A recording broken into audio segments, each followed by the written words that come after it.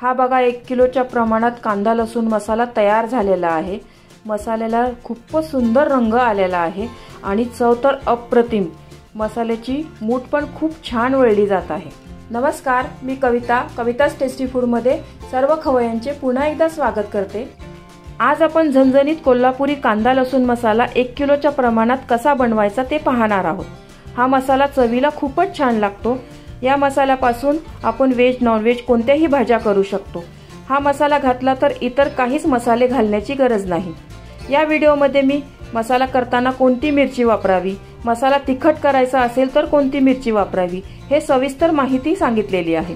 नवीन शिकणारे ही एक किलोच्या प्रमाणात मसाला सहज करू शकतील. मसाल्याची रंग चव शेवटपर्यंत टिकण्यासाठी काय करावे हे मी पुढे सांगितलेले आहे. त्यामुळे व्हिडिओ स्किप न करता पूर्ण पहा. मसाल्याचे साहित्य प्रमाणासह डिस्क्रिप्शन बॉक्समध्ये दिलेले आहे. चला तर हा झणझणीत कांदा लसूण मसाला कसा करायचा ते पाहूया. तुम्ही या चॅनलला अजून सबस्क्राईब केले नसेल तर जरूर सबस्क्राईब करा. ते निशुल्क आहे. मसाल्यासाठी मी या तीन प्रकारच्या मिरच्या घेतलेल्या आहे. शंकेश्वरी मिरची बेडगी आणि काश्मीरी. शंकेश्वरी मिरची मी अर्धा किलो घेतलेली आहे. शंकेश्वरी मिरची बघा अशी असते दिसायला. थोड्या सुरकुत्या आणि पातळ सालीची असते ही मिरची. पण ही मिरची आहे ना चवीला खूप छान लागते. मसाला ना याच्याने खूप छान बनतो. तर मी अर्धा किलो घेतलेली आहे. इथे मी पाव किलो बेडगी मिरची घेतलेली आहे. बेडगी मिरची बघा दिसायला अशी असते. वरनं भरपूर सुरकुत्या असतात या. ही मिरची चवीला खूप छान असते पण तिखटाला कमी असते. पाव किलो इथं मी काश्मीरी मिरची घेतलेली आहे. काश्मीरी मिरची दिसायला अशी असते बघा. भरपूर त्याच्यावरनं सुरकुत्या असतात. वरनं जाड असते आणि खालनं निमुळती असते. ही मिरची आहे ना तिखट अजिबात नाही आहे पण या मिरचीमुळे ना भाज्यांना रंग खूप छान येतो. मला हा मसाला आहे ना जास्त तिखट नको आहे म्हणून मी या मिरचीचं प्रमाण घेतलेलं आहे. जर तुम्हाला हा मसाला अजून तिखट हवा असेल तर अर्धा किलो शंकेश्वरी मिरचीच्या जागी तुम्ही पाव किलो शंकेश्वरी घ्या आणि पाव किलो लवंगी मिरची घ्या त्यामुळे मसाला ना छान तिखट होईल. तुम्ही बाजारातनं देठं काढलेली मिरची आणत असाल ना तर हे एक किलोचं प्रमाण परफेक्ट आहे. तुम्ही बाजारातनं देठवाली मिरची आणत असाल तर जेव्हा आपण बाजारातनं मिरची घेतो ना त्यावेळेला या मिरच्या थोड्या ओलसर असतात आणि देठ असल्यामुळं वाळवून त्यांना साफ करून त्यांचं वजन कमी भरतं. त्यामुळे तुम्ही ही मिरची घेताना ना पाव किलो जास्तीची मिरची घ्या म्हणजे वाळवून सगळं आपलं एक किलो प्रमाण व्यवस्थित भरेल. पाव किलो मिरची या मिरचीपैकी कोणत्याही प्रमाणात घेतली तरीही चालेल. तर सव्वा किलोची मिरची आहे ना ती वाळवून देठ काढून सर्व एक किलो व्यवस्थित प्रमाण होईल आपल्या मसाल्यासाठी. मसाल्यासाठी मी इथं पाव किलो धणे घेतलेले आहे. धणे हे इंदोरी धणे घेतलेले आहे आणि पाव किलो खोबरं घेतलेलं आहे. खोबरं घेताना ना तुम्ही काळ्या पाटीचंच खोबरं घ्या. खोबरं ना व्यवस्थित उन्हात वाळवून ना असं लंबे लंबे काप करून घेतलेले आहे. शंभर ग्राम जिरे शंभर ग्राम तीळ पन्नास ग्राम मोहरी पन्नास ग्राम खसखस. वीस ग्राम शहा जिरे वीस ग्राम दालचिनी वीस ग्राम चक्रीफूल वीस ग्राम लवंग वीस ग्राम त्रिफळा वीस ग्राम छोटी वेलची वीस ग्राम मोठी वेलची वीस ग्राम मेथी दाना पंचवीस ग्राम काळी मिरी. नाकेश्वर दहा ग्रॅम कबाब चिनी दहा ग्रॅम जावित्री दहा ग्रॅम रामपत्री दहा ग्रॅम. तमालपत्र दहा ग्रॅम आणि दगडफूल दहा ग्रॅम. पंचवीस ग्राम सुंठ पंचवीस ग्राम हळकुंड दहा ग्रॅम हिंग आणि एक जायफळ. हे चारही पदार्थ कडक आहे ना बत्त्याने मी हे फोडून घेणार आहे. अर्धा किलो कांदा इथे मी लांब चिरून घेतलेला आहे. आणि पाव किलो लसूण स्वच्छ करून घेतलेला आहे. पाव किलो इथं मी शेंगदाणा तेल घेतलेलं आहे आणि दोनशे ग्राम मीठ घेतलेलं आहे. तेल आणि मीठ आहे ना प्रिझर्वेटिव्हचं काम करणार आहे. याच्यामुळे आपला मसाला आहे ना जास्त दिवस टिकणार अजिबात खराब होत नाही. तुम्ही अजून या चॅनलला सबस्क्राईब केले नसेल तर सबस्क्राईब बटनला क्लिक करा आणि बेल आयकॉनला प्रेस करायला विसरू नका. जेणेकरून नवीन रेसिपीचे नोटिफिकेशन तुम्हाला येतील. आता आपण सर्व मसाले भाजून घेऊया. त्यासाठी मी गॅसवर कढई गरम करायला ठेवलेली आहे. कढईमध्ये मी दोन चमचे तेल घालते. सर्वात आधी आपण कांदा आहे ना तो कांदा आपण तेलामध्ये शिजवून घेऊया. हा कांदा शिजवायला ना आपल्याला सर्वात जास्त वेळ लागणार आहे.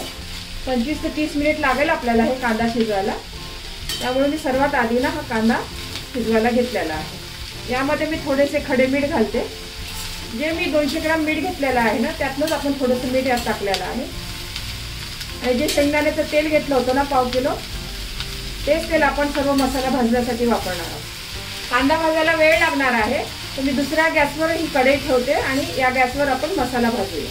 त्या बाजूच्या गॅसवर मी बारीक गॅसवर कांदा भाजायला ठेवलेला आहे. मसाला भाजता भाजताच आपण हा कांदा पण तेलामध्ये चांगला व्यवस्थित शिजवून घेणार आहे. या कांद्यामधला पाण्याचा अंश आहे ना सर्व आपल्याला काढून घ्यायचा आहे तोपर्यंत कांदा आपल्याला व्यवस्थित शिजवून घ्यायचा आहे तेलामध्ये. गॅसवर मी दुसरी कढई गरम करायला ठेवलेली आहे. त्याच्यामध्ये मी धणे भाजायला घेते आधी. हे धणे भाजतानाही आपण थोडंसं तेल घालूया याच्यात. हे धणे पण आपल्याला मिडियम गॅसवर चांगले खमंग भाजून घ्यायचे आहे. धणे पण आपले मस्त खमंग भाजून झालेले आहे बघा. धन्याचा वास आहे ना सगळ्या घरात मस्त दरवळत आहे. एका परातीत ना धने काढून घेते मी. यानंतर अगदी थोडस तेल मी कढईमध्ये टाकते. आणि त्याच्यामध्ये तमालपत्र आणि दगडफूल दोन्ही भाजून घेऊया सोबतच. एक मिनिट झाला आहे बघा छान आपले दगडफूल आणि तेजपत्ता भाजून झालेला आहे. तो पण परातीत काढून घेते. कढईमध्ये अगदी अर्धा चमचा तेल घातले मी. आणि त्याच्यामध्ये तीळ आणि खसखस दोन्ही भाजून घेऊया. आधी मी तीळ थोडस भाजून घेते आणि मग त्याच्यात खसखस टाकते. खसखस भाजायला जास्त वेळ लागत नाही. तीळ बघा थोडीशी भाजत आलेली आहे. याच्यातच मी खसखस पण भाजून घेते. एक अर्धा मिनिटात ना दोन्ही चांगलं मस्त खमंग भाजून होईल आपलं. तीळ आणि खसखस पण बघा खमंग भाजून झालेली आहे. ती पण परातीत मी काढून घेते. कढईमध्ये परत मी एक चमचा तेल घालते. त्यामध्ये मी आता एक सारखेच दिसणारे जे मसाले आहे ना ते सर्व भाजून घेते मी. मिरी त्रिफळा लवंग कबाब चिनी नाकेश्वर हे सर्व मसाले एक सारखेच आहे म्हणून मी एकत्रच भाजून घेतलेले आहे अगदी एक मिनिटच आपल्याला भाजायचे आहे. जास्त करपवायचे नाही. एक मिनिट झाला आहे बघा. हे सर्व मसाले मी काढून घेते. परत कढईमध्ये थोडस तेल घालते. त्याच्यामध्ये मोहरी मोहरी आहे ना व्यवस्थित आपण फोडणीला कशी घालतो तेव्हा चटचट अशी होते ना तशी मोहरी आपण करून घेणार आहोत. म्हणजे मोहरी आपली चांगली फुटली पाहिजे कच्ची नाही राहिली पाहिजे. एक अर्धा मिनिट मोहरी भाजणार आहे मग त्याच्यामध्ये जिरे आणि सहा जिरे पण घालणार आहे.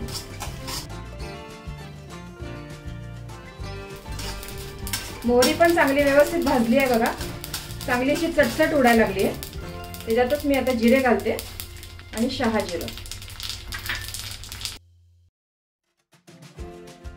हे पण एक मिनिट भाजून घेते मी. हे सर्व मसाले ना मी मीडियम ते मध्य गॅसवरच भाजत आहे.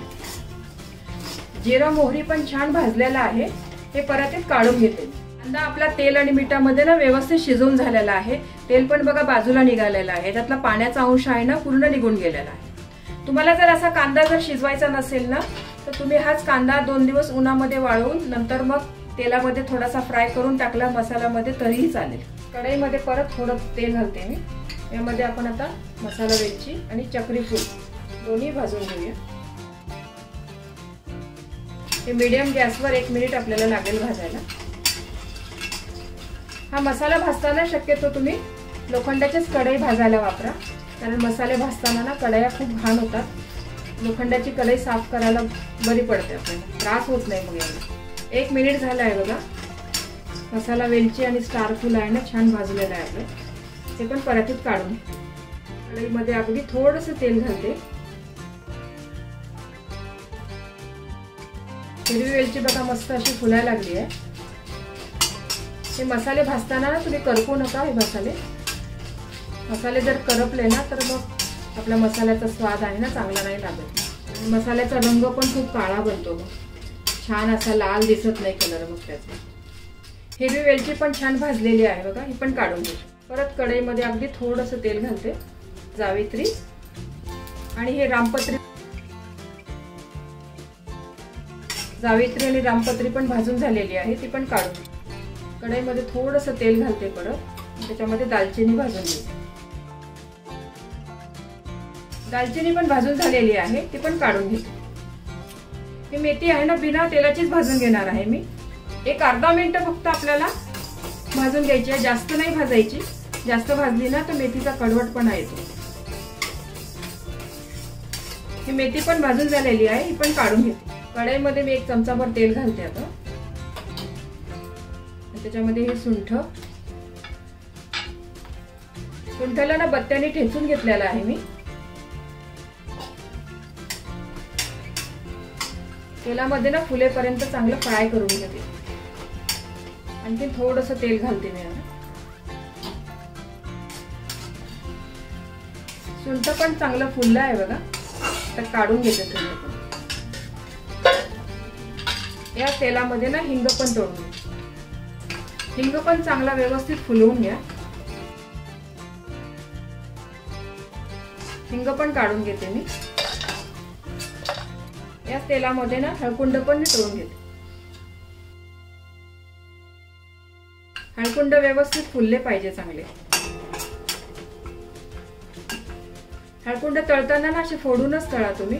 अख्खा हळकुंड टाकला ना तर फुटू पण शकतो आणि आपल्या अंगावर पण उडू शकतो. हळकुंड पण चांगलं व्यवस्थित तळून झालेलं आहे बघा ते पण काढून घेतो.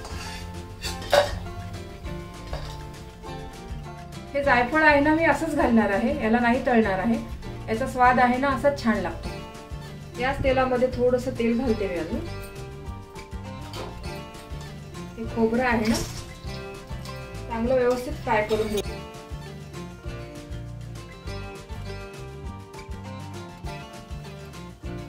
आपण जे काही आता सर्व मसाले मस्त तेलामध्ये तळून घेतले ना त्याचा सुगंध इतका छान घरामध्ये दरवळतोय. खूप छान वास येतोय मसाल्यांचा. खोबरं पण बघा व्यवस्थित भाजून झालेलं आहे. इतकंच भाजा याच्यापेक्षा जास्त काळं करू नका. करपट वास येतो नाही तर मग त्याचा. हे पण एका भांड्यामध्ये काढून घेते. आता आपण मिरच्या भाजून घेऊया. त्यासाठी मी एक मोठी दुसरी कढई घेतलेली आहे. यामध्ये थोडंसं तेल घालते मी. मिरची भाजताना पण जास्त तेल नका घालू तुम्ही.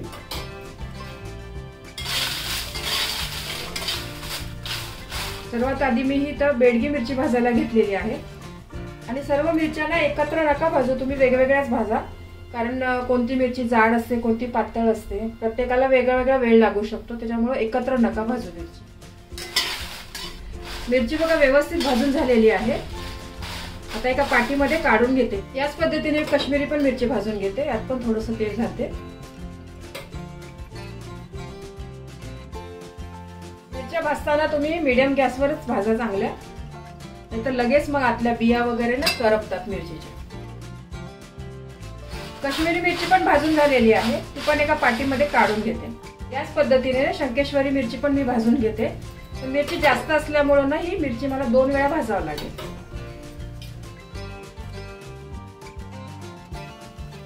सर्व मिरच्या मी व्यवस्थित भाजून घेतलेल्या आहे. मिरची आता गरम आहे. मी आता गार करून घेते. मिरची गार झाल्यानंतर या मसाल्यामध्ये ना सर्व मिरच्या आणि हा आपण भाजून घेतलेला मसाला आहे ना सर्व एकत्र करणं कांदा पण बघा व्यवस्थित छान गार झालेला आहे.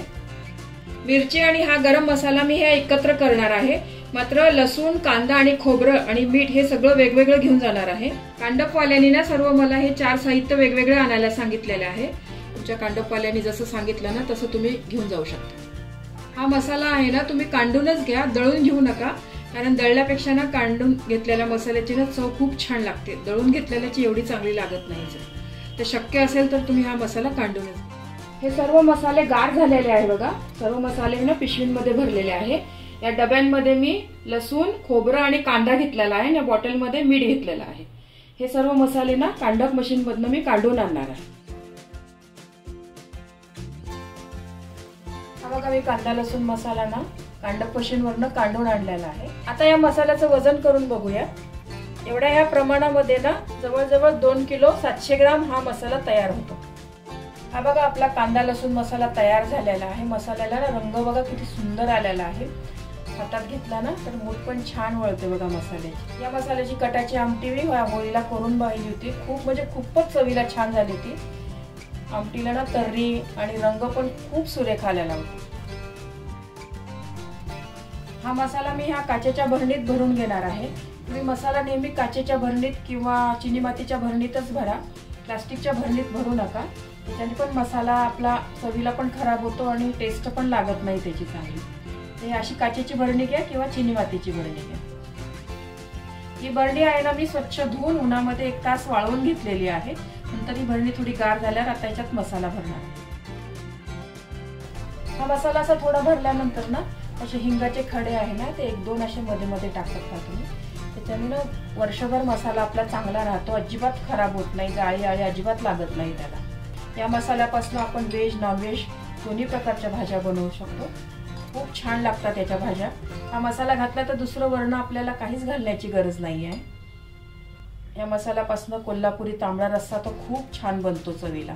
त्याची पण रेसिपी नक्की मी शेअर करेल. कोल्हापुरी तांबडा रस्सा किंवा कोल्हापुरी झणझणीत मिसळ ही पण खूप छान बनते याच्याने हा मसाला असा गच्च भरल्यावर ना भरणीमध्ये वर्ण पण ना असा एक हिंगाचा खडे पण टाकून ठेवा असे एक दोन भरणीचं झाकण आहे ना असं गच्च लावून व्यवस्थित असं कोरड्या जागे ठेवा तुम्ही. म्हणजे हा मसाला आहे ना आपला वर्षभर चांगला राहील. आणि रोजच्या वापरण्यासाठी असा मसाला आहे ना छोट्या काचेच्या भरणीत काढून ठेवा. म्हणजे सारखा आपल्याला मोठ्या भरणीला हात लावायची गरज नाही. या छोट्या काचेच्या भरणीतनं आपण मसाल्याच्या डब्यामध्ये ना थोडा थोडा काढू शकतो. आणि हा मसाला काढताना घेताना ना नेहमी चमचा तुम्ही कोरडाच घ्या. पाण्याचा हात लागला तरी मसाला खराब होऊ शकतो. ही खूप महत्वाची टीप आहे यामधली ही जर अशी सर्व काळजी घेतली ना तर मसाला आपला वर्ष तर काय दोन वर्ष चांगला राहतो अजिबात खराब होत नाही. टेस्टला चांगला आणि रंगाला पण छान झालेला आहे मसाला हा. त्या मसाल्याचा वास आहे ना सर्व घरात मस्त दरवळत आहे बघा. त्याच्यात पण एक असा हिंगाचा छोटासा खडा ठेवायचा. आणि झाकण लावून